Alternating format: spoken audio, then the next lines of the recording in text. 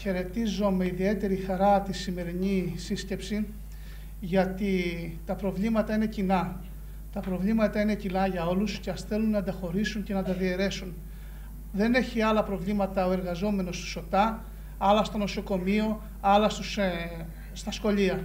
Αυτό όμως που θέλουν να κάνουν είναι να φαίνονται κοινά τα προβλήματα ανάμεσα και στις ίδιες τάξεις των εργαζομένων. Εσύ είσαι μόνιμος, εσύ είσαι συμβασιούχος, σαν το μόνιμο θα γίνεις. Συνάδελφοι, κάνουμε όλη την ίδια δουλειά, έχουμε όλοι τα ίδια δικαιώματα και τις ίδιες υποχρεώσεις. Αυτό βέβαια δεν θέλουν να ακούγεται, γιατί φοβόνται. Φοβόνται ότι αν ξυπνήσει, αν ενεργοποιηθεί η εργατική τάξη, θα τους τσακίσει. Θα τους τσακίσει γιατί θα διεκδικήσει τα δικαιώματα που έχει.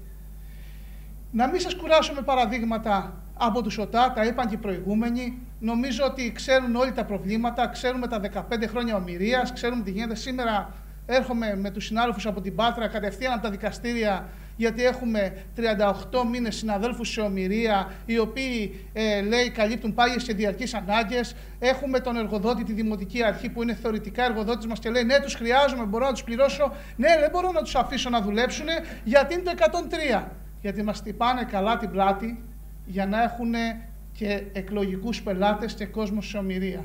Άρα λοιπόν ε, πρέπει να δυναμώσει αυτό το κίνημα, να πάει σε κάθε σωματείο, σε κάθε άκρη. Γιατί αυτό το, το να υπάρχει μέσα στο Σύνταγμα μία παραφωνία ότι δικαίωμα για εργασία έχουν όλοι, αλλά δεν μπορούν να μετατραπούν οι συμβάσεις ορισμένου χρόνου σε ορίστου, δεν ξέρω κατά πόσο είναι συνταγματικό. Τέλος, θέλω να σας μεταφέρω την εμπειρία. Έρχομαι από μία πόλη η οποία έχει ένα σύνθημα.